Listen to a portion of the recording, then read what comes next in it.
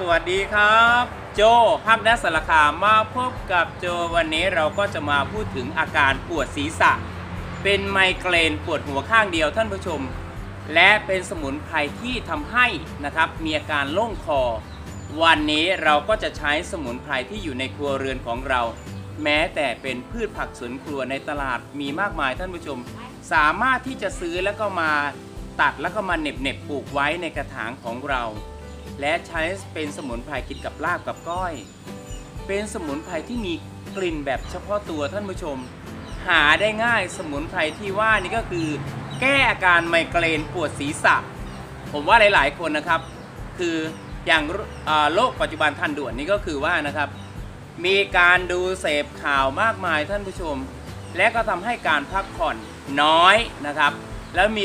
จิตวิตกมีการระแวงนะครับ ไม่ว่าจะเป็นข่าว สารบ้านเมืองต่างๆ ท่านผู้ชมเราต้องมีการปลงไว้บ้างนะครับ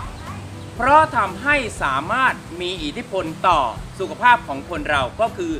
นอนไม่หลับและทำให้กระสับกระส่าย และทำให้มีอาการปวดหัว วิงเวียนหน้ามืดตาลายและเป็นไมเกรนในที่สุด เราจะใช้สมุนไพรที่อยู่ในครัวเรือนของเราก็คือ สมุนไพรใส่ลาบใส่ก้อยก็คือ สมุนไพร สระแหน่ติดตามไปชมเลยครับ วิธีการกินการใช้ก็คือเราจะต้องเตรียมสมุนไพรสะระแหน่ประมาณสัก 5 กรัม ต่อน้ำประมาณสัก 1 ถ้วย 1 ถ้วยก็ประมาณสักครึ่งลิตรนะท่านผู้ชมเราเอาประมาณนี้แล้วกันในการที่จะต้มน้ำเดือด เราจะต้มน้ำเดือดประมาณสัก 10 นาทีก็พอ หลังจากนั้นเราจะกินขณะอุ่นๆนะครับสองมื้อเท่านั้นก็คือหลังอาหารนะครับ ก็คือตอนเช้าแล้วก็ตอนเย็น เราจะทำให้นะครับอาการที่เป็นไมเกรนและก็ปวดศีรษะ และทำให้อาการโล่งคอ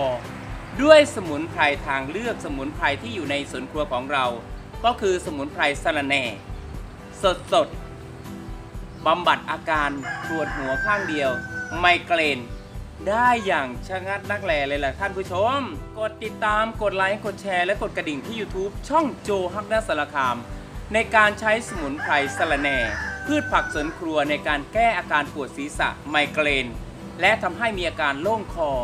อาการพวกนั้นก็จะหายไป ด้วยสมุนไพรสะระแหน่สดๆ ในการต้มกิน ชางาดนักแหล่สิบอกให้